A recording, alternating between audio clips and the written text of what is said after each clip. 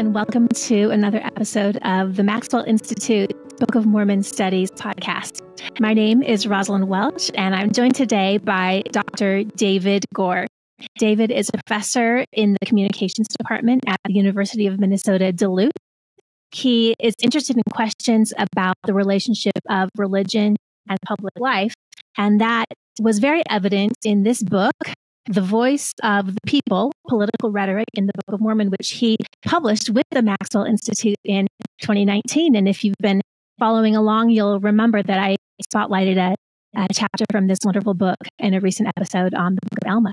So, Dr. Gore, welcome to the podcast today. Good morning, Rosalynde. Thanks for having me. Today, we're going to be talking about some highlights of the scholarly literature about the book of Helaman. And David, as you and I started to talk about this, at first our thought was like, there really hasn't been that much written about Helaman. But then, as we started to dig a little deeper, we found that what has been written is very, very rich. Uh, and so, in the end, we're going to attempt to cover five pieces today, all of which um, are really strong and insightful. There's going to be a couple of names that that you'll start to recognize that reoccur in our conversation today. You'll hear the name of Kim Matheson, who is my colleague here at the Maxwell Institute, um, and Joseph Spencer, um, whose name has been prominent throughout this podcast, um, a colleague here at the um, Department of Ancient Scripture at Brigham Young University. Both of these scholars have really dived deep into the book of Helaman. And so they are the ones who have produced much of the scholarship that we'll be discussing today. Um, but we'll, we'll, we'll get a little bit of diversity in there as well. Uh, so, Dr. Gore, you'll start us off now by um, walking us through a really interesting and insightful piece about the overall book of Helaman called Narrative Doubling and the Structure of Helaman by Kim Matheson. So, take it away. Yeah, that's right. Uh, thank you, Rosalynde. So I, I, I want to emphasize that you know some of what I'm going to say here are are Kim Matheson's words, uh, but it's also my summary of what she said here in this wonderful piece. She argues in the piece that Helaman, the book of Helaman, traffics in buried texts that disclose signs and covenants that make explicit the latent Lamanite frame that undergirds the Book of Mormon as a whole what she means by that is that uh, the the text of the book of Helaman is brings together right the work of two main prophets, Nephi and Samuel, and they both give signs relative to the prediction of Christ's uh, future advent in the Americas, but it also provides it to us in a relatively dense structure. The book uh, of Helaman is is dense, and uh, Matheson argues that the book proliferates parallels that are often presented as doubles. This is what she means by narrative doubling. This problem of doubling, she says, is exemplified by the way characters, objects, and social groups come in twos or in pairs in this book. There are two murdered chief judges. There are two examples of Lamanite conversions. There are two examples of buried objects, of slippery treasure, treasures, of angel, angelic ministrations, and so on. And then, of course, these these two sermons by Nephi and Samuel, which uh, are kind of the culmination of the narrative of the book. So, where she compares Alma's parallels in the book of Alma as being tidy and disciplined, she says that Helaman's parallels are seemingly erratic and suggests that the structure of the book of Helaman is influenced by the subject matter of the text. So, in other yeah, words, yeah, go ahead. I'll just jump in because uh, listeners will remember that I talked about this with Kim on an earlier episode, and we talked about the structure of the book of Alma and how, as you just alluded to, it is very tightly structured, where the first half and the second half mirror each other in these very specific ways. Um, so you come into the book of Helaman maybe expecting something as symmetrical and elegant and neat as that, but instead what you find is this kind of almost feeling like erratic collapsing structure as as elements that look like each other but don't quite match up and don't really come together in the kind of elegant balance of Alma.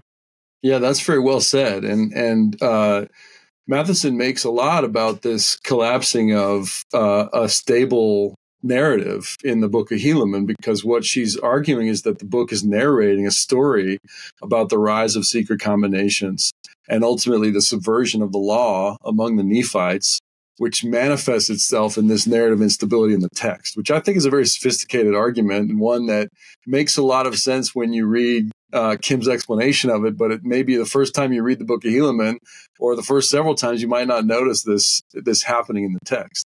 And so uh, she argues quite rightly, I think, that the Book of Mormon history is presented in a way that's uh, both describing the erosion of Nephi's society, but also trying to stop that or prevent that erosion from happening at the same time. And so it's quite a complicated task that is set by these historians, uh, chiefly Mormon, but also his reworking of the histories of all the other writers in the Book of Mormon, which is again to uh, uh, account for this this problem in Nephite society while also trying to halt the problem at the same time. So my favorite part of this uh, piece by Matheson is when she talks about mirroring which she uses as a metaphor about visibility. When you look in a mirror, you're, you're, there's a reflective surface that doubles your image in a way. It reproduces the entirety of the image that is looking in the mirror, but also makes that entirety open to a gaze. And she argues that this is a tool that Nephi uses uh, to reveal um, the traits of those who adopt secret combinations right? When you look in a mirror, your own self is presented back to you as an object for your own expect, inspection. And Nephi said, Berkey says, or, or Matheson, sorry, Nephi Matheson says, sets these secret combinations against themselves. He does this to disrupt their operation without reinscribing their logic. So, and this is a really complicated thing because what ends up happening in the story of Helaman 9, when Nephi essentially tells us about the murder of a chief judge is that he now looks like he's implicated in the murder. Like he's he's part and parcel of the secret combination. Like the first logical conclusion to hearers of him laying out this political script is that he's involved in a conspiracy himself to organize the murder so that he can reveal it which is exactly what you would expect a Gadianton robber to do but of course, that's not what Nephi is doing. What Nephi is doing here is using this, the power of prophecy to, to show an image of the Nephites to themselves so that they can see who they really are and the kind of things that they're really allowing to happen in their society.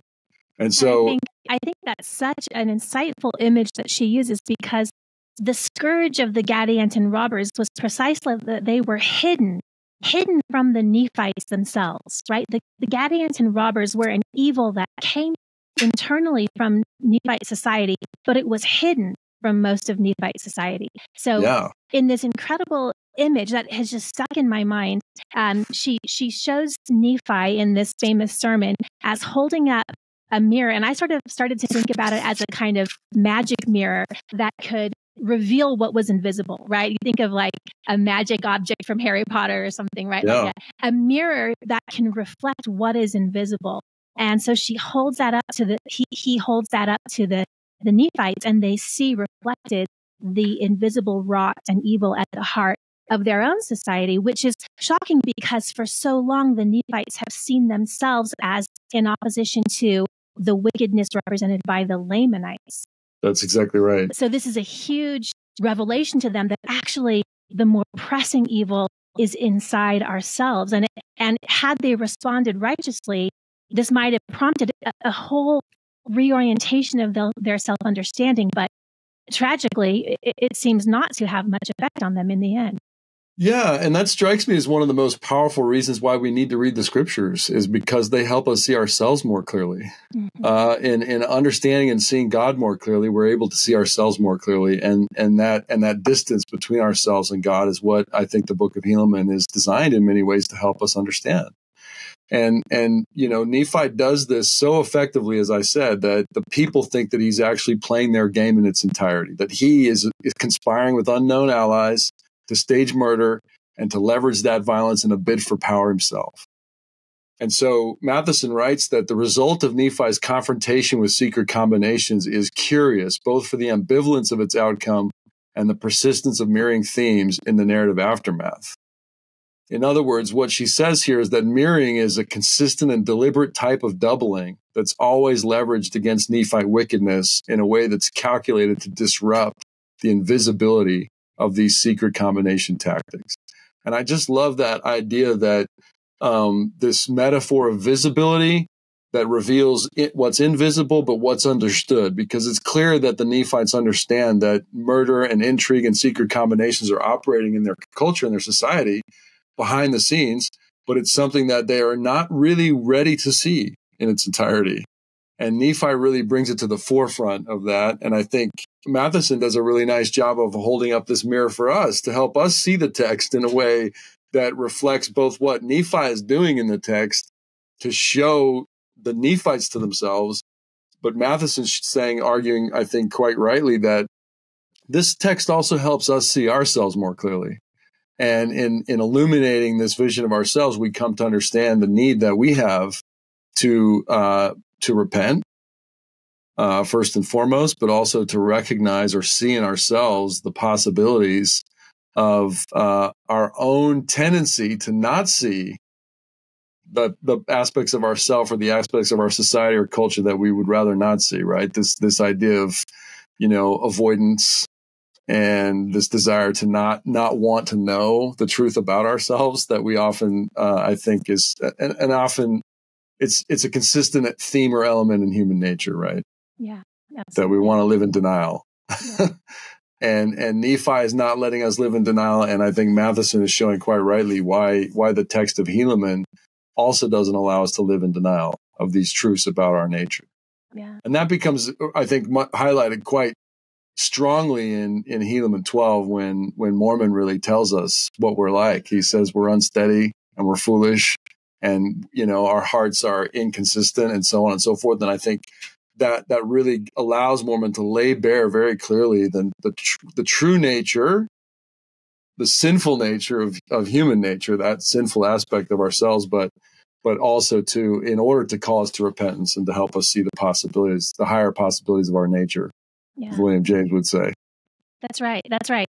Eh, eh, the, you know, the book of Helaman, sometimes we, we skip over it because we've just gotten through Alma, which is very, very long. We're about to get to Third Nephi, which is you know where the good stuff happens, and so we can skip over Helaman. It's a little bit of a shorter book, um, but it is so important because these exact themes are are illustrated in more evident ways in the book of Helaman than anywhere else. Famously, of course, it's the place where um, the Nephites the Lamanites are con- converted, sort of reconverted, because we saw back in Alma 19 that the original foundation of Lamanite Christianity, but there's this kind of mass conversion of the Lamanites um, in Helaman 5. And, and conversely, the Nephites just sink lower and lower and lower. Um, and if you don't understand this great reversal that happens at this point in the Book of Mormon, um, you can't understand the main message of the Book of Mormon for our latter days, which is how is it that societies decline? And uh, as I alluded to earlier, you know, if you were to ask um, a casual reader of the Book of Mormon what happens to the Nephites at the end of the story, sometimes people will say, oh, there was a kind of a genocidal eradication of the Nephites by the Lamanites, and they'll, they'll kind of say they were destroyed by the Lamanites. But in reality, as the book of Helaman makes very clear and Mormon makes entirely explicit, the Nephites were destroyed not by the Lamanites, but by the secret combinations of the Gadianton robbers that, that hollow out their society from the inside. And so the, the message of, of the book of Helaman for us is you're getting distracted if you're looking outward to these external enemies the problem is inside yeah. of you, yeah. um, inside of us as individual people and inside of our own communities and our own society. And, and we see tragically how the Nephites just can't wrap their mind around that. They won't look in the mirror that Nephi is holding up to them and they, they continue, you know, focused on these sort of inherited external rivalries. I think that's a crucial insight. Yeah. I mean, I, I think our, we should never underestimate the human capacity for self denial and, and for, for a lack of self awareness, quite frankly. And I think that's really what this text is trying to help us see. Uh, and, and also in the midst of that, you know, the overarching theme too of the Book of Mormon is, is, as Mormon states on the title page, to remind us that we're not cast off forever. Yeah. That despite despite our internal divisions, despite our tendency to corruption, despite our tendency to sin, there's still this possibility, this condition of repentance, this possibility that that we that we can achieve our higher nature through through the atonement of Christ. And so there's it's always a hopeful narrative at the same time that it's narrating this tragedy of epic proportions, right? So we have to always keep those two things in in check with each other. That's right. That's right. And they're not just like two things that are totally separate. They're they're related because as King Benjamin lays out so beautifully and we'll return to Benjamin later, it's only we can only achieve our potential as children of Christ after we have fully recognized that we are unprofitable servants and yeah, there's a part right. in us that is an enemy to God. And it's only after and, and by retaining in remembrance this kind of essential humility about about who we are that then we can have our hearts changed and experience the the, the adoption um, and becoming sons and daughters of Christ. So so these two messages of the Book of Mormon, the the tragic and heavy one and the hopeful and buoyant one, they're actually one in one in the same, or they're they're part of the same spiritual. That's right. Absolutely. Yeah. Well, that thank you. That it was such an insightful article. I really, really recommend it. Um, Kim Matheson's narrative doubling in the structure of Helaman. One of the things that I really value about sort of scholarly work on the Book of Mormon is when a scholar can make something memorable to me. the, the Book of Mormon is a long book and it's a complicated book. And even though I am sometimes termed a, a scholar of the Book of Mormon, I am not too proud to admit that sometimes I forget parts of it and it can be hard to keep yeah. all of the characters and the storylines straight.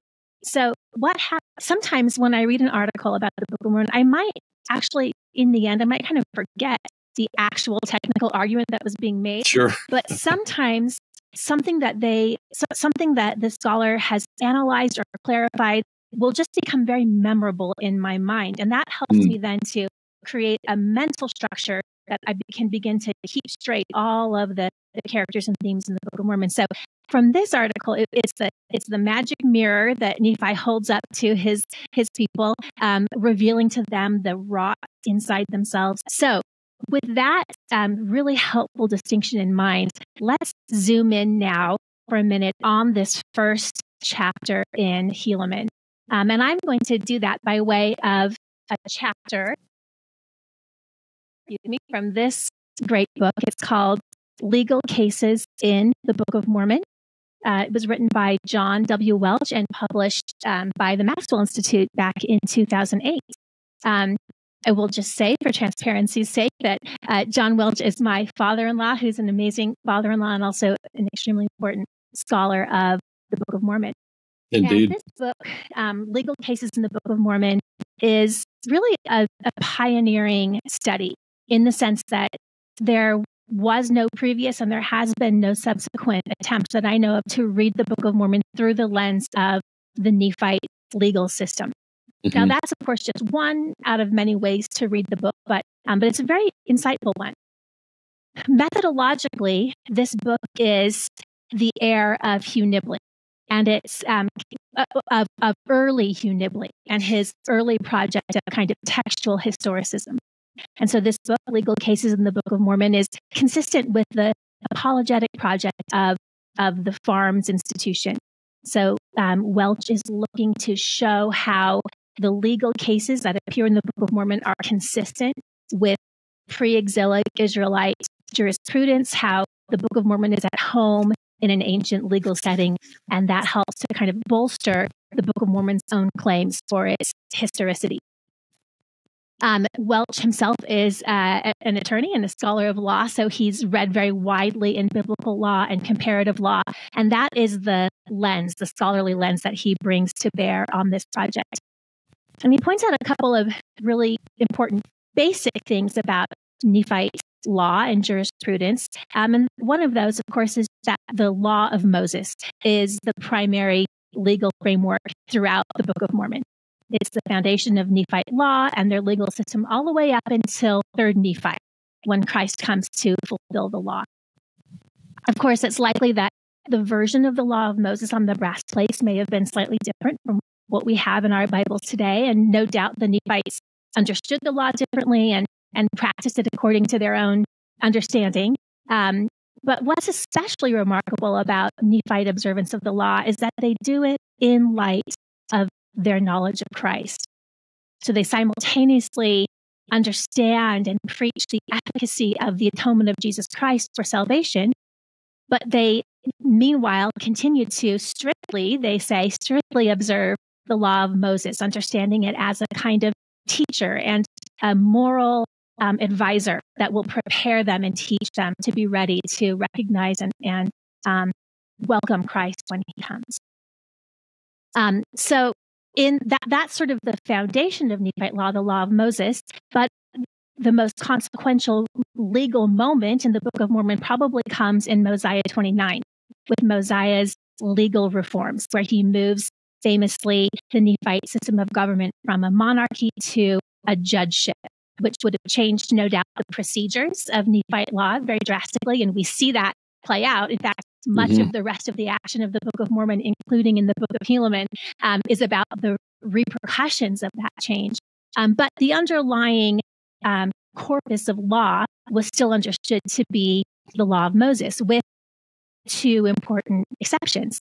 Um, one was that um, Mosiah legislated that um, there could be no persecution on the basis of conscience. Mm-hmm.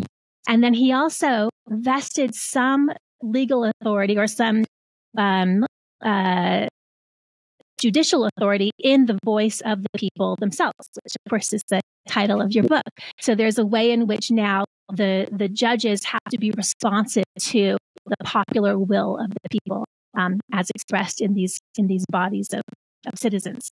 So th- that's sort of the what what we can know from the text about the Nephite legal system. Beyond that, we have to do a lot of inference. Um, but it's it's um, interesting to look at uh, specific cases in light of this background. And so he zooms in on the case of Paanchi, who is maybe a lesser known character here from the first chapter of Helaman. Um, mm-hmm. We open the book of Helaman. Um, the chief judge, Pahoran, has died, and he has three sons who are vying um, to uh, take over the office of chief judge. They are Pahoran, uh, and Pacumeni. And so um, the voice of the people speaks, and Pahoran is um, elevated to the position of chief judge. Now, the problem with any system of popular sovereignty is that there's going to be losers. And the problem of losers is one that that plagues the Nephites. And That's so right. He's a he's a good loser, um, but Paanchi is a sore loser, and he cannot accept um, the the results of this. And so he rallies his partisan followers, and the text says he is about to lead them in a kind of seditious act of rebellion when he is apprehended, taken, and then, according to the voice of the people, is tried and is ultimately executed. So that is the that is the um, narrative story that we have about Paanchi and the case of Paanchi. Um, so the central question in this story, Welch suggests, is whether or not it was illegal under Nephite law to criticize the chief judge or even talk about overthrowing the government. Was it enough just to mm. talk, or did a person have to call for or actually commit some specific overt action before the insider could be tried and convicted of conspiracy? Could a person be punished according to the law for expressing mere intent? So, to answer this question, Welch goes back and, uh, with great erudition, he reviews ancient law from all the way back to Egypt, pre exilic and post exilic Israel, up to Roman law, to show um, a kind of broad shift in ancient understandings of this question. Earlier, the sort of earlier understanding was that um, there could be criminal liability for mere incitement without active help or involvement. Over time, around the time, in fact, that these events were taking place in the Book of Mormon, a new understanding was emerging in Israel, Israelite law, in which merely to plan something without actually doing it was not deserving of punishment. So that puts us with this question here. What is happening with Paanchi? Mosiah has made it clear that a person can't be punished for his thoughts or beliefs alone. So, how much actual aid or help or action is needed um, before a person could be um, indicted and, and executed? Did an actual rebellion need to begin, or was it okay if it was just about to begin? And so, what we see is that, as the text tells us, Paanchi was about to incite this rebellion, but was stopped before he carried it out and then subsequently was, was convicted and executed. So Welch infers that Nephite law recognized the imminent incitement of rebellion as a completed crime. Or at least Paanchi's case would have solidified that precedent if there was some mm-hmm. question around it er- earlier on. And you can imagine how this kind of collective memory of figures like Amlici at the beginning of the book of Alma and Amalickiah would have um, encouraged the people to try to nip these rebellions in the bud early because they know what happens when they're allowed to flourish. And so, um, what Welch concludes is that the, the conviction of Paanchi by the voice of the people reveals a decision that is consistent with an older, more traditional Israelite framework, right? Um, concluding that it's enough just to plan and incite people, even if the actual rebellion had not been carried out. There's a kind of secondary question, which is why was this case decided according to the voice of the people and not by the chief judge?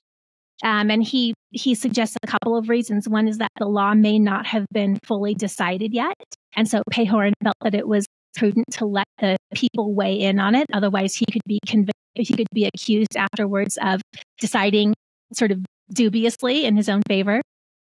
Or it's also possible that since the very matter at hand was the installation of a new chief judge, that his appointment was still contested in some way, and that legal authority in this interim would have reverted back to the voice of the people. So we see how important it was. These institutions of popular sovereignty were deeply rooted in, in Nephite society. Yeah, and we when we know so little about the mechanism whereby these, uh, if you want to call them referendums or uh, appeals to the voice of the people are made, we we don't know enough specifics about how that relates to the judge's interpretation of the law to be able to answer those questions definitively. But I I think those hypotheses are very provocative and and insightful because I'm sure something's happening here in which uh, the people are being used as a measure of uh, you know the the kind of corruption in some sense that's existing in their society, and also that they're willing or not willing to tolerate. Yeah, yeah. So this you know this piece is a good example of a particular moment in Book of Mormon scholarship, a kind of textual historicist moment. Um, and to me, it shows how fruitful that lens really can be um, because Welch has drawn out a lot of detail that I never would have thought to even really ask about Absolutely. or notice. Um, but yeah. by bringing these larger questions to bear and by putting it in ancient context, um, he, he draws a lot out of the text. Um, if there's something that jumps out of it that kind of speaks more personally to me um, as a believer and as a, a, reader of the book, it would mm. probably mm. be thinking about the aftermath of this moment. Um, so what happens is that Pahoran, of course, ascends Pahoran, the son of Pahoran, um, to the chief judgeship. He's famously um, assassinated by Kishkumen. And so hmm. then after that moment, with Paanchi having been executed, Pacumeni, the third son, um, then ascends to the chief judgeship. And he then is um, killed as well in, in um, a, a Lamanite attack that happens soon after. And so at that moment, we see the chief judgeship revert back to the house of Alma as Helaman, um, the the son of Helaman and the son of Alma, um, ascends to the judgeship, and that that tells me something about the family of Alma and the house of Alma. First of all, this was a thankless job. It was perfectly clear Indeed. how dangerous it was to, dangerous one, yeah. to take this position. but Helaman was willing to do it, I think, out of the kind of sense of obligation and public spiritedness that that his family embodied. Um, and he, he didn't seek the position. He was asked to take it and he carried it out with justice and equity. Um, so it leaves me feeling grateful and inspired by the ethos and kind of the family culture of the house of Alma down through the generations, where they are in the midst of a, a, a wicked and deteriorating society, but right. they don't give up on it. They're willing to continue to serve it and to do their best um, despite um, the, the sort of difficult outlook ahead. Um, and very, with, with great unselfishness and with great um, justice and um, and persistence. They they stick with their people and and do what they can, even on a sort of sh- sinking ship. And that really, I mean, I think that highlights again a theme that goes all the way back to King Benjamin and King Mosiah about the the role of a righteous leader. Yeah. That you you really do have to offer yourself as a sacrifice in many ways, in terms of your time and your energy and your willingness to take on difficult assignments, to bear those patiently, um, and and to to also bear the criticisms that are lobbed against you, uh, despite the fact that you're doing a job no one else wants to do. You, are also criticized for not doing it to the way that other people would want you to do it. So there's there's all manner of grievances that one has to bear if one wants to be a leader uh, of any society. And certainly Nephite society was no exception to that. That you know, and, and as you mentioned, I mean, Helaman himself is saved by one of his servants from an assassination attempt. So it's it's even worse than just the normal, you know, uh, burdens of leadership in his case. And so I think it does speak to a quality of character there and in, in the in the leader's uh, willingness to bear those burdens uh, is is significant. You know, the fact that they're they they're willing to take those things on and carry them despite the both the damage to themselves, the danger to themselves, and also the burden of just doing it. It's yeah. impressive. It is. Well, and that's a nice a nice transition to the next um, piece that we're going to talk about, which is here's where you'll see that name again, Kim Kim Matheson Berkey's um, brief theological introduction to the Book of Helaman, um, and it, it's it's a really wonderful short book, as all of them are. Um, I highly recommend it. But I wanted to draw attention in particular to, as we move ahead now in the book of Helaman, um, to her reading of Helaman chapter 12, which is a sort of um, an anomaly here in the book of Helaman.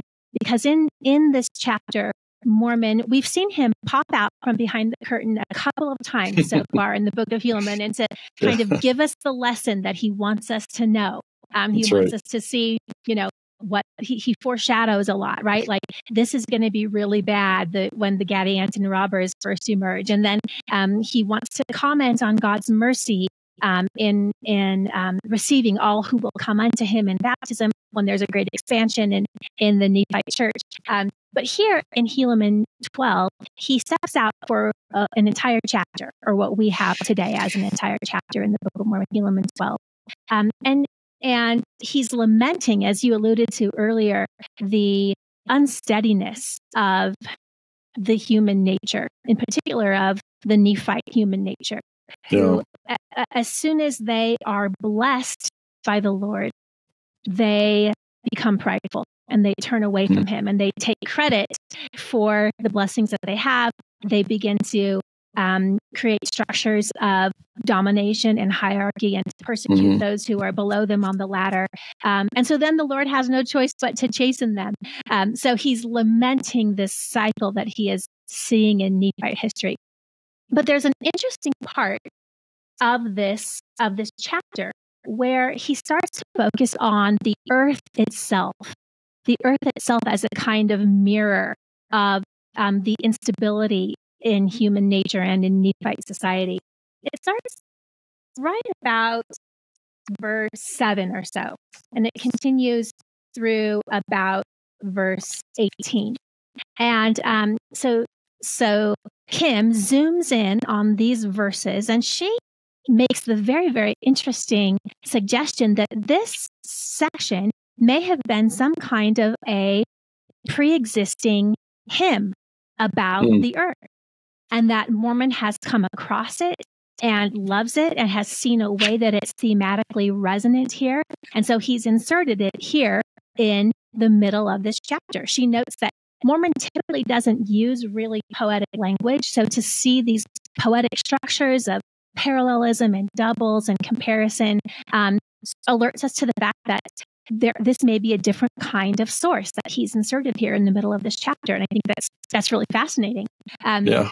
Even beyond that, though, um, thematically, it is so interesting. So she points out that um, the earth has been sort of profoundly unstable throughout the book of Helaman, from earthquakes that um, tumble the walls of the prison uh, uh, where Nephi and Lehi are imprisoned in Lamanite territory to this the soil that begins to swallow up buried treasures. Um, the earth starts to come into motion in the book of Helaman, leading up, of course, to the cataclysms that we'll that we'll see in Third Nephi. So it's like the earth is just starting to wake up. Um, so she notes a kind of progress in this in this hymn. Um, in at the begin, beginning of it, talking about just the dust, starting with a small surface phenomena. Um, for behold, the dust of the earth moveth hither and thither to the dividing asunder at the command of our great and everlasting God. And then it moves sort of in these increasing cycles and scopes to the colossal movements at the very center of the earth. So we see this kind of increasing intensity of the earth's movement and agitation.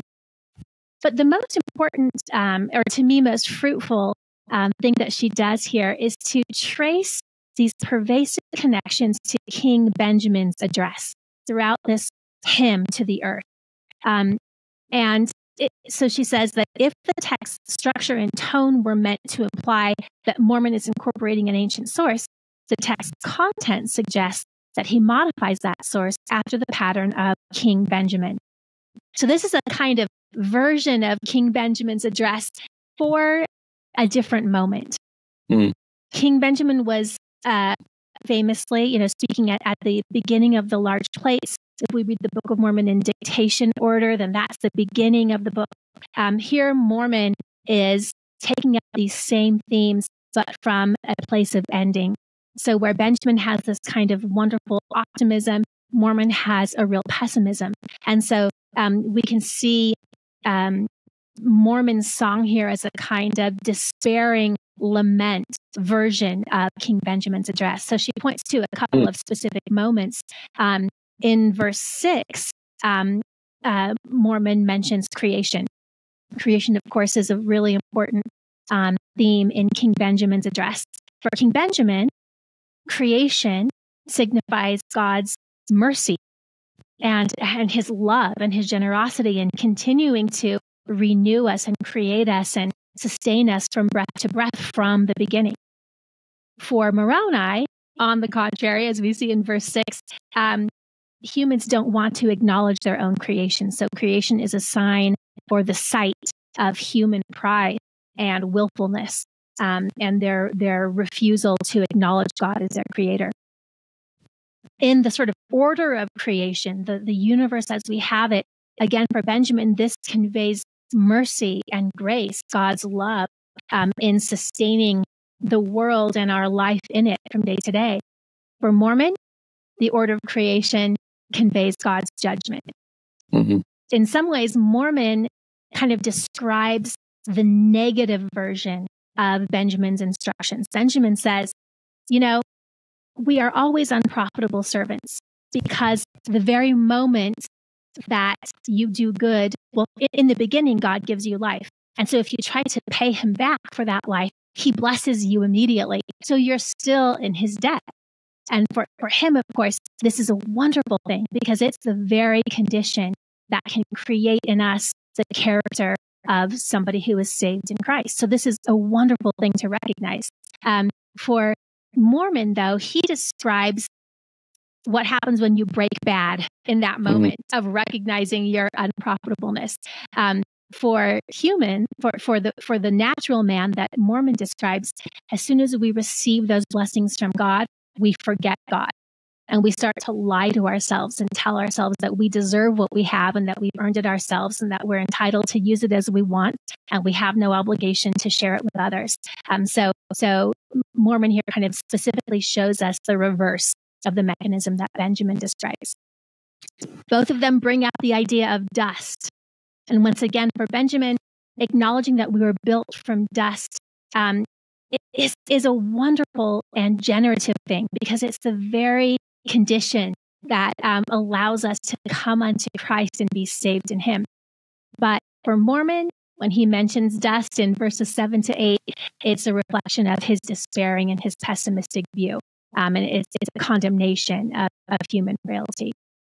And then finally, the question of wealth, right? What we do with our wealth is um, central to King Benjamin. And of course, just as we are all beggars with respect to God who gives to us generously, regardless of our merit, we then are required in the same way to give what we have to those who ask of us, regardless of our judgment of their merit.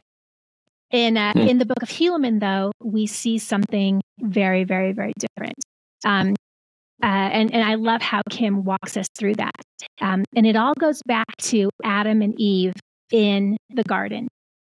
So, Adam and Eve's first recorded act was to partake of a forbidden fruit, to take ownership of a natural resource in an inappropriate way.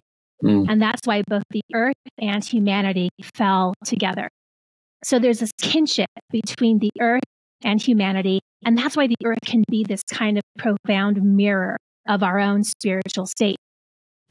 So in Genesis, then, of course, Adam and Eve are, are sent out into the lone and dreary world, um, but they're told to work. They're told to work to, to till the earth and to, by the sweat of their brow, um, earn um, by the sweat of their brow. I, I almost made a King King Benjamin type mistake right there. I said earn their own living, but of course we don't yeah. earn our own living. Work they must, but yeah. um, the gifts come to them from God um, through yeah. the cultivation of the earth. So what we see in the book of Helaman is this kind of grotesque um, distortion of that commandment. Instead of sowing seeds and reaping nourishment, they are sowing violence in bodies and blood. Mm-hmm. They're they're burying their gold and silver instead of their seeds, um, hoping that it will return to them again, but only, mm-hmm. of course, to find that this is a barren um, crop and that and that they will, in fact, spiritually starve um, if they expect to um, survive on um, the fruits of their of their money alone. Um, so I find this to be such a um, profound and subtle um, interweaving of the themes of Benjamin and Mormon. Um, and just to throw into real relief the, the sad and, as she says, kind of grotesque state of Nephite society at this stage in their history, um, where the kind of agriculture that they are engaged in is the the absurd planting of gold and silver in the yeah. expectation that this is going to yield some kind of nourishing life. It's a really interesting way to think about the earth as an agent. Yeah. Um, because as you're mentioning, as you're talking there, I'm thinking about how, you know, the earth is obviously an agent of provision, of bounty, of overflowing, you know, a, a, thing that's contained in a container that overflows itself, so to speak, that it's always constantly giving forth life and prosperity and beneficence to, to the people that live on the earth, obviously, to us earthlings. And yet, uh, it also is a side of judgment because the way that those those gifts are used by us is what can bring us into condemnation or or into freedom and liberation as well at the same time. And so, in a way, the the earth is doing what the earth does uh, as an actor here, but it's the condition of our hearts that determines what element or aspect of that of that gift giving, life giving force that the earth gives to us, provides for us, that we see. What judgment do we make of it? What use do we make of it? And that's the piece that comes back to us again, and and that that determines whether the earth is going to act as this again a life giving mother or a, a, a judgment against us, right? That's exactly right. And that's, and, and, I appreciate you bring that up because you help me crystallize, I think, what is the what I drew that was most powerful to me from what Matheson points out here, which is that what Benjamin sees as God's grace and mercy, Mormon sees as God's judgment. But really, they are one and the same. Yeah. As you say, it's the condition of our heart that determines how we see it and what use we decide to make of it.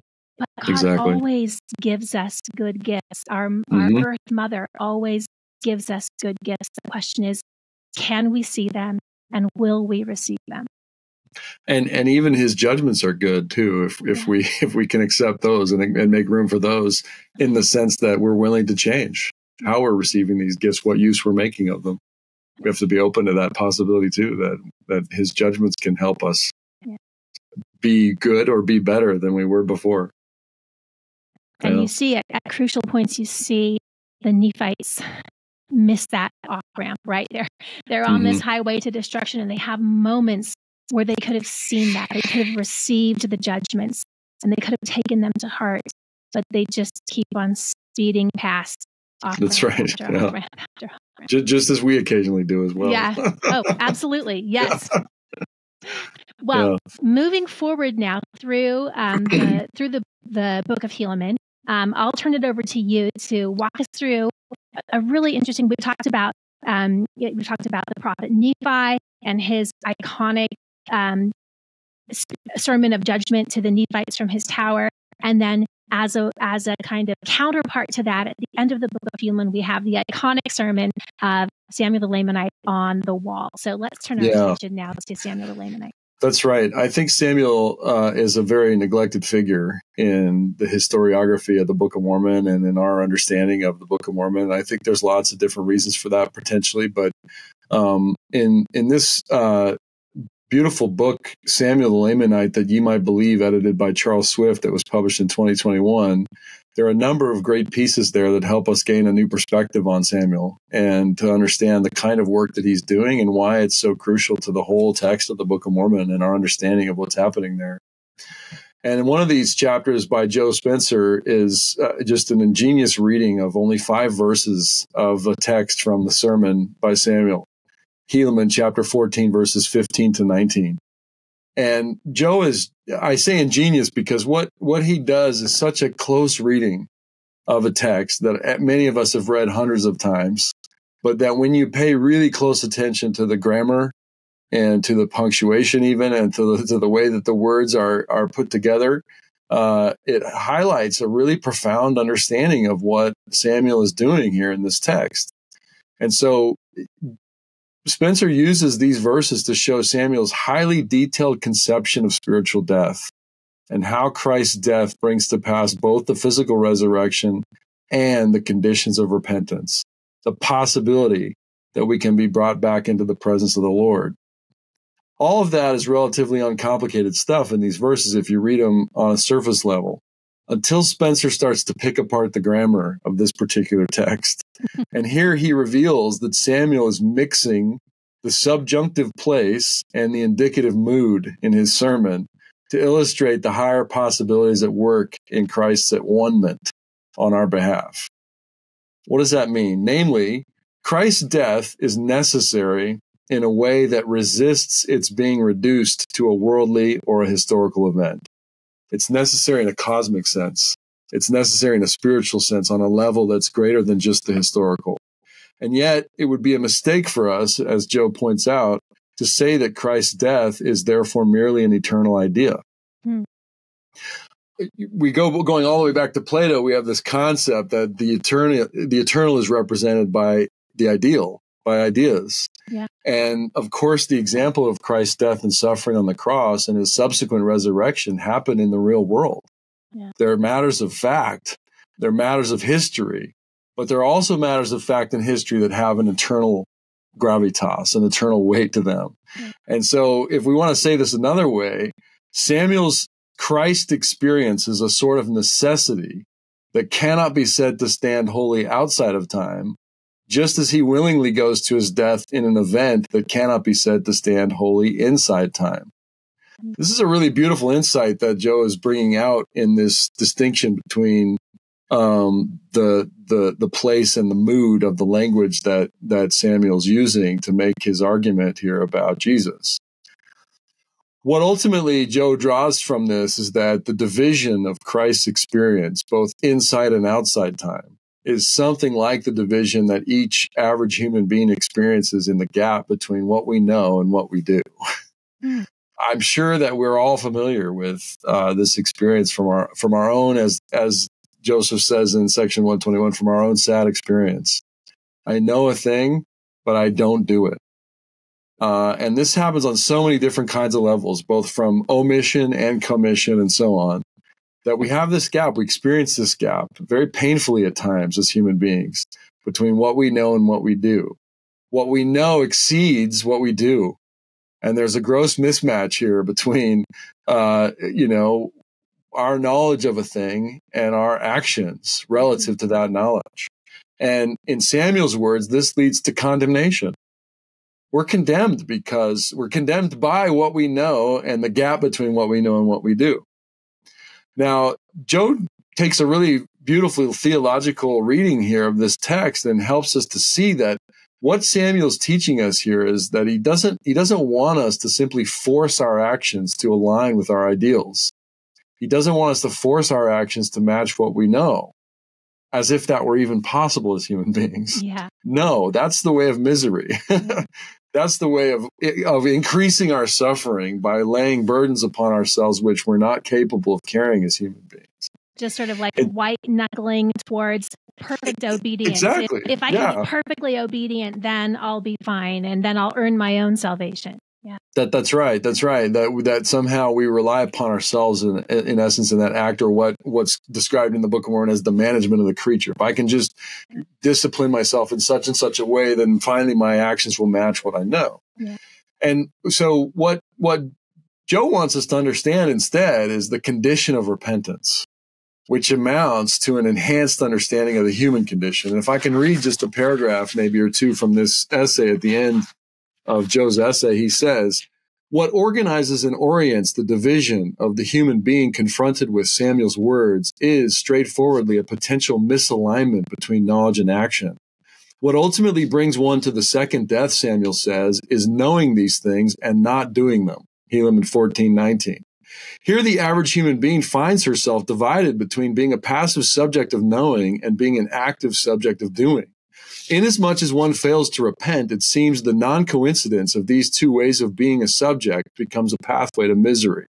What one knows exceeds and overstretches what one does, and the mismatch leads rather directly to condemnation. Divided from oneself with theory, knowing, and practice doing, situated on opposite sides of an unbridgeable gulf, one finds no possibility of wholeness or of reconciliation. Now, it absolutely must not be imagined that Samuel thinks one must work to force one's actions to align with certain known ideals, as if it were even possible for one's all too human efforts to yield anything like goodness apart from God. What one knows, Samuel makes clear, is just the conditions of repentance. Indeed, Samuel states explicitly that his purpose in coming up upon the walls of the city is to ensure that his hearers know the conditions of repentance.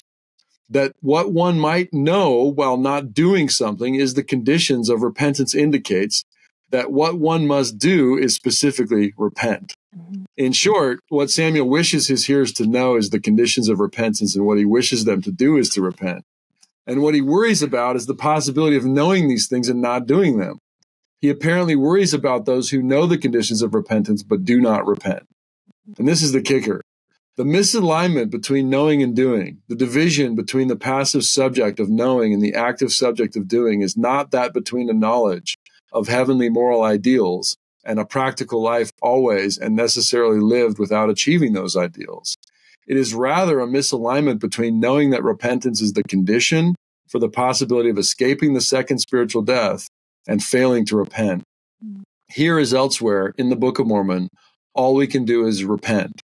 And this is where I think Joe makes this beautiful conclusion. It may, in fact, be only in repentance that what human beings know and what human beings do can genuinely find reconciliation or genuine wholeness. Mm. I love that because I, that theological conclusion draws together in a really powerful way an understanding of ourselves and an understanding of the gift of what Christ's at one does for us by making it possible for us to be reconciled to God, Jesus is also helps us reconcile ourselves to ourselves. Yes. Helps us reconcile ourselves to our families and to our friends and to our immediate connections, to the members of our wards and stakes who we might not see eye to eye with, we might have disagreements and challenges with.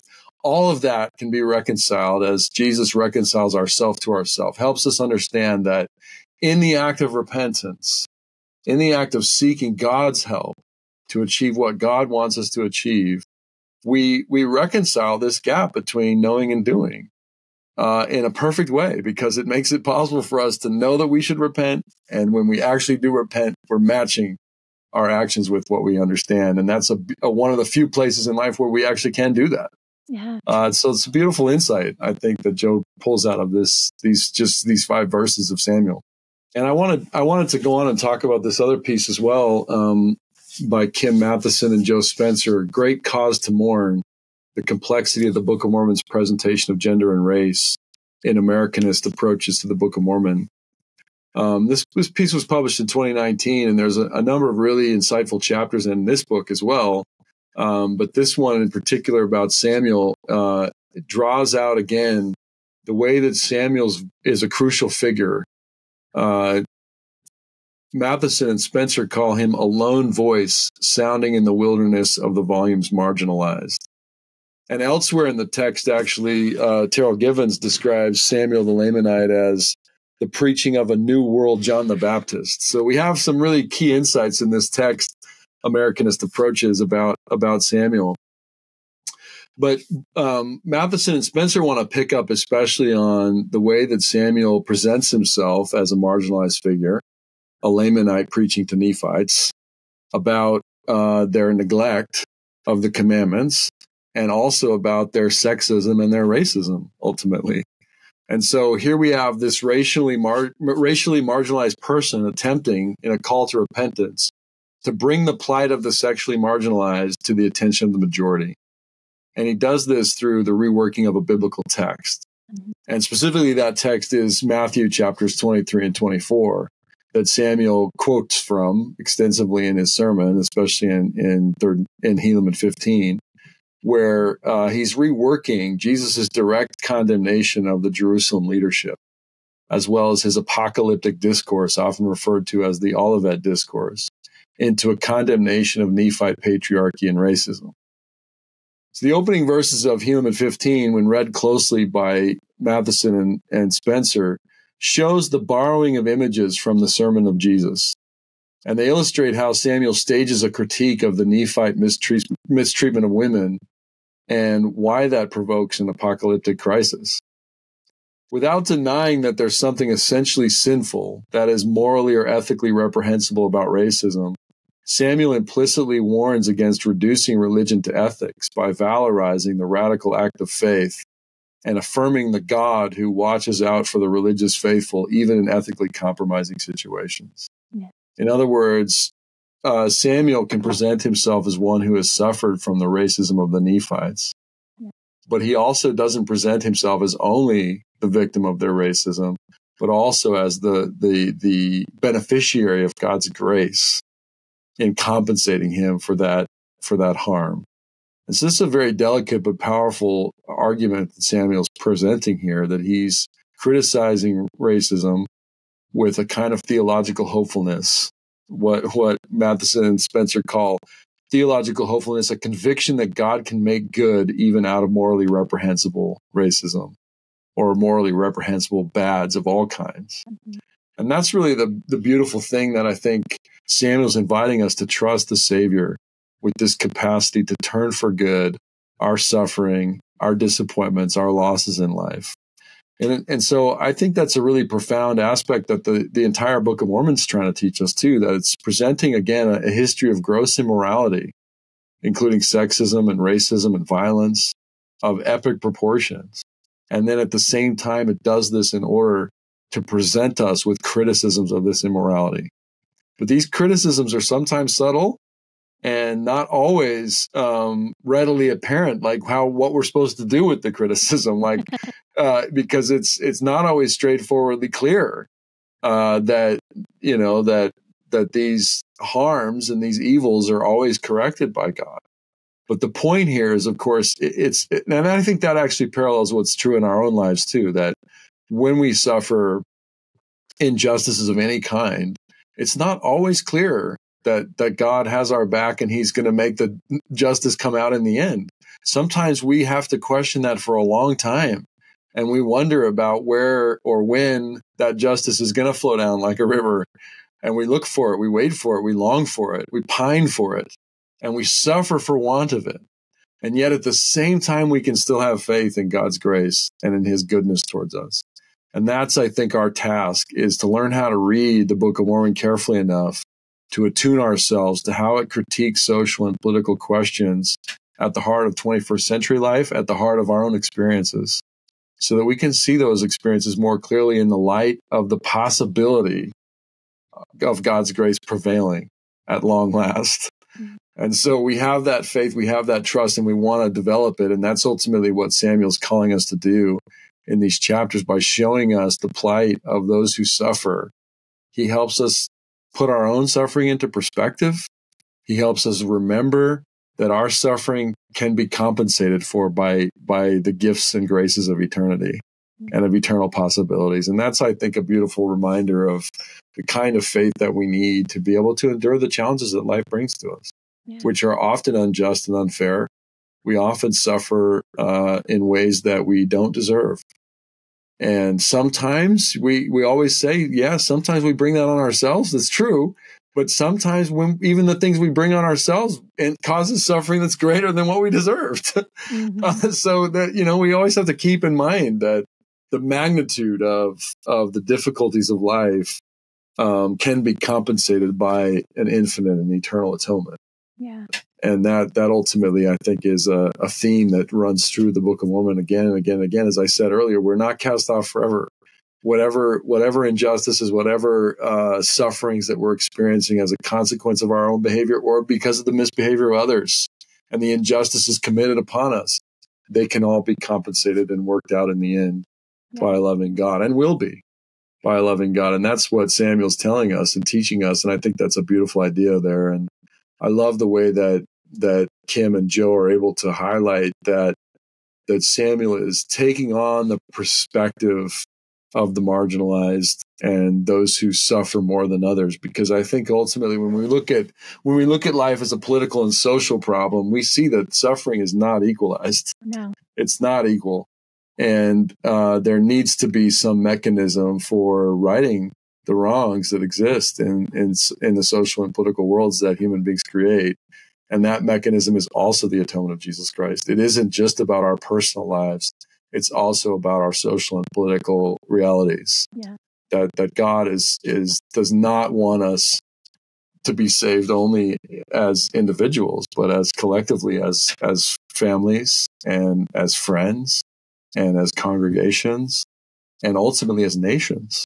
Yeah. That that the story uh, in in the Bible in particular at the end in Revelations is that the the fruit of the tree of life is for the healing of the nations. It's not just about the healing of our own personal experiences, and and it needs to be about both, or otherwise it isn't it isn't enough. Yeah, it isn't enough to fix what's wrong with the world. And it's it's so powerful that it is Samuel who in his body and in, in his embodiment of difference, he can testify with a kind of credibility and power to this issue um, that, that no other prophet can. You know, of That's course, right readers of the Book of Mormon who have read from the small plates and then throughout the Book of Mormon, by this time, if you've been paying attention, you'll know that, you know, the Lord has a special plan in mind for the salvation of the Lamanite remnant. And that, in fact, right. everything that's being written is, is headed for that purpose, for the salvation of the Lamanite, Lamanite remnant. So God has got their back.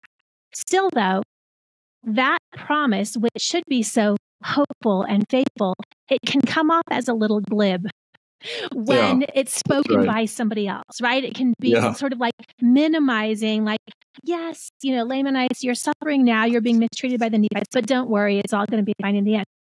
But when Samuel voices that, it comes yeah. from a total it has a different force to it right because that's exactly right yeah. he has he has experienced it he knows what it is and so when he um, expresses faith that in the end, the Lord, in his tender mercy, will gather and recompense his people, that has real moral force.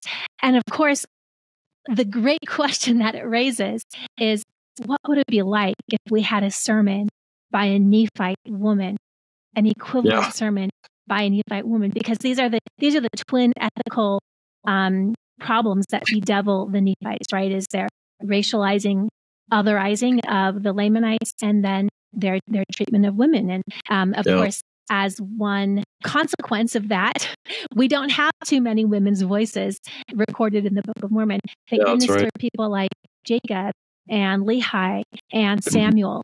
Um, who do who recognize their plight and who bring it to our attention um, and it would be far too quick this is part of what um, Spencer and Matheson want to show that would be far too quick to say, oh, the Book of Mormon, because it contains few women's voices, it has little of substance to say about the problem, about women themselves, or about the, the problem of sex based discrimination and oppression. It actually has quite a lot to say if you look carefully.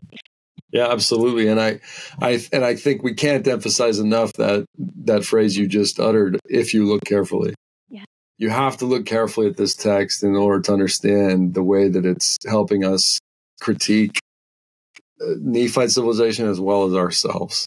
It's always bringing it back into what is my relationship to people of other races? What is my relationship to, to people of other, uh, you know, genders and sexes and so on? Because if I'm if I'm not attuning myself to that in an appropriate way, then I can easily miss uh, both the the the insights of the book itself, the text, but also the the the way that it teaches me to be in in the text of my life, right? Exactly. In the textual exactly. relationships that I'm in, embedded in yeah. every day. Just as we were talking earlier about how Nephi holds this mirror up to Nephite society to show them yeah. what is hidden inside of them and at a larger level, that's precisely what the Book of Mormon is meant to do for its modern Latter day readers is to be a kind of magic mirror that we look into and we see ourselves. Dave, as we're as we're moving towards the um, end of our time together, we always wrap up these uh, podcasts by sharing a scripture that has been personally significant or meaningful to each one of us in some way. So I'll let you go first. Would you share with us um, a scripture you. that's been meaningful to you? I, I would love to. And uh, I, I, as I was rereading the book of Helaman a couple times in preparation for this podcast today, I was reminded of an experience I had as a young missionary when I was serving in the England Manchester mission in the Whitefield Ward. I had an occasion uh, on a very clear sunny summer day to be invited over to the home of a member of the Whitefield Ward who was on his deathbed.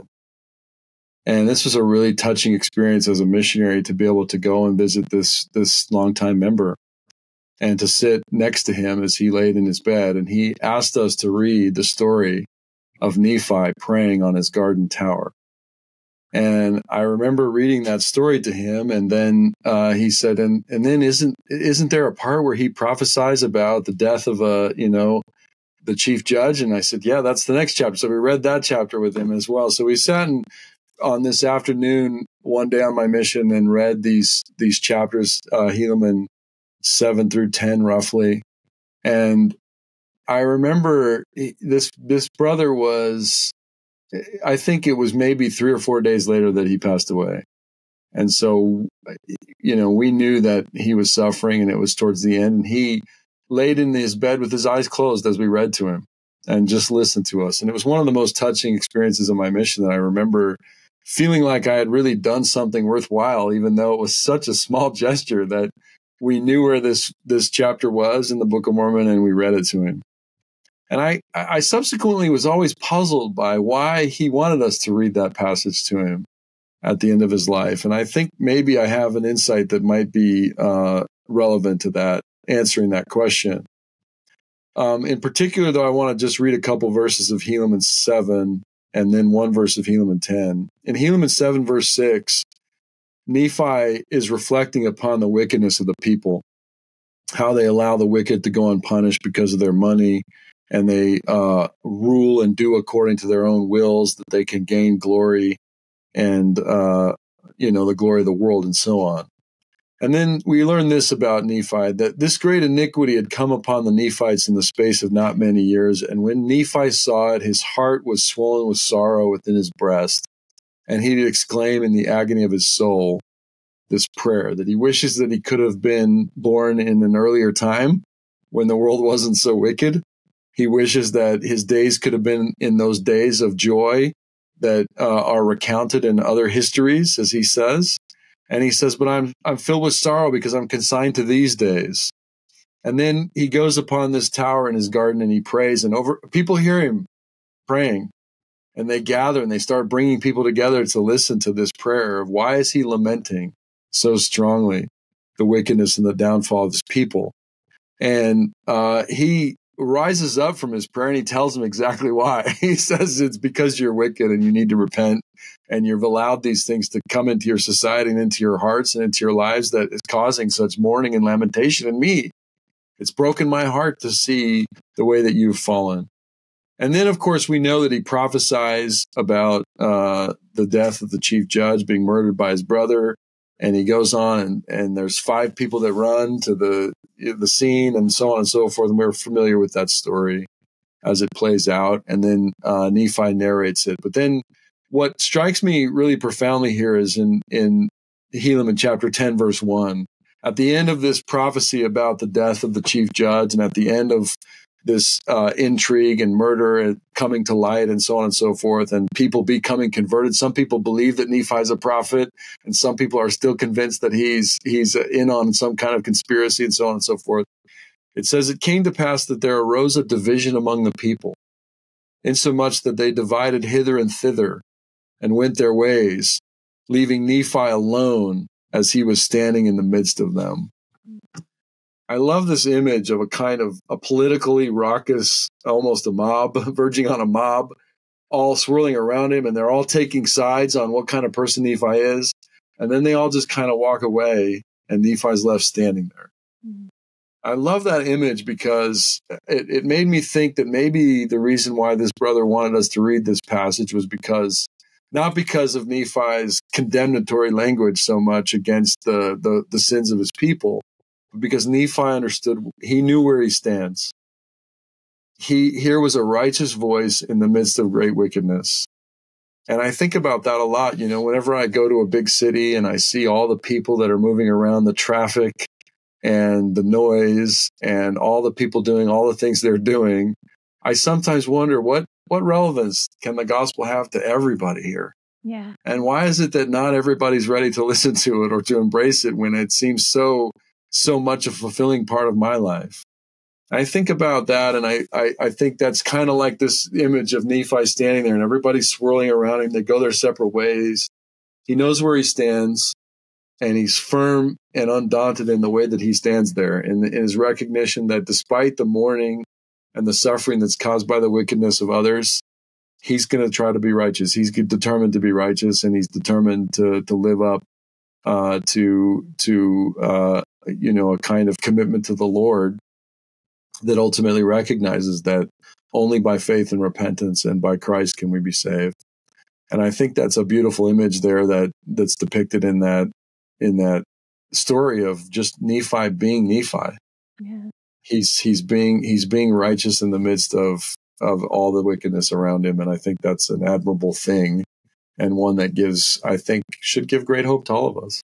Well and i wonder you know such a striking image of him standing there absolutely alone and thinking about your friend you know death yeah. is something that we each person has to walk through alone we, that's right almost every other thing in life we do together, especially the things that are of most consequence as we're sealed together and as we give birth. Um, but death is something that we have to walk through, a door we have to walk through by ourselves. And I, I wonder whether that image of, of Nephi on his own, but um, secure in his relationship with the Lord. I wonder if that there you go.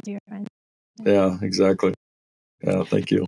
Well, I wanted to share something that actually is is related in a lot of ways, and I think it helps us understand how it is that Nephi came to be the person that he was. Um, and that's looking back here to Helaman chapter three. You know, something about the book of Helaman that we haven't touched on too much yet is kind of the socio-cultural and technological um, progress that was happening during this time. It was a, a time of incredible um, expansion prosperity. They they expanded um, drastically up into the land northward. They developed new forms of building. They developed a shipping industry.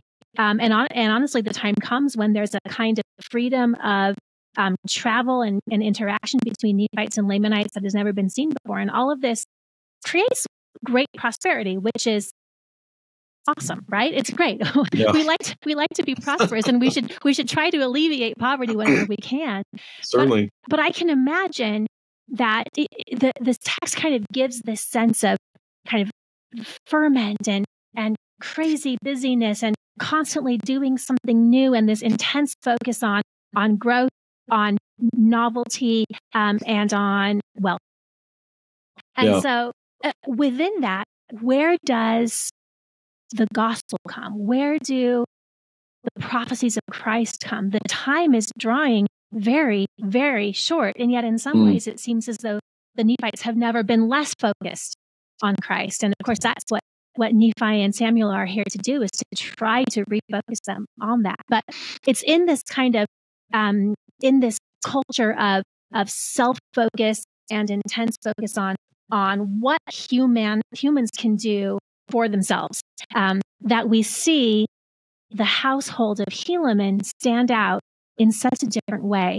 Um, and it just, um, the, the, the home and the family that Helaman manages to create is a kind of countercultural enclave. I just imagine walking through the doors and having a totally different feeling from what is happening in the world outside. So I'll read here in Helaman chapter 3, verses 20 21. This is this is after Helaman um, has agreed to take a, take on him the, the danger and the burden of the of the chief judgeship. Um, and here's what we read. Nevertheless, Helaman did fill the judgment seat with justice and equity. Yet he did observe to keep the statutes and the judgments and the commandments of God.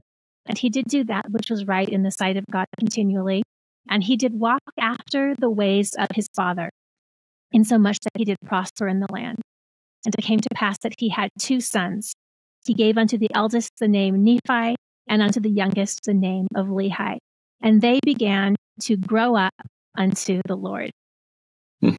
And it's such a wonderful phrase. Um, and I, I, you know, I've read the scripture many times, and I, I'm sure that you have as well. But this time, having a better sense of how different it was inside their home than in the outside world helped me to appreciate even more what Helaman achieved. And of course, I wish we knew about his wife because I'm sure she had a lot to do with it as well. absolutely. Uh, but we, we, we, we learn a little more about what it, how, how it was that um, Helaman succeeded in creating such a different environment and ethos inside his own home.